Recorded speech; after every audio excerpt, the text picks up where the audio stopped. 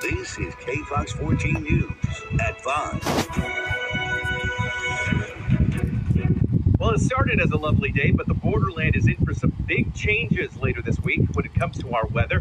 That shift is already being felt with some of the winds that are coming in this afternoon. Our chief meteorologist, Sandra Diaz, is here to tell us what we can expect on this weather worn day. Sandra.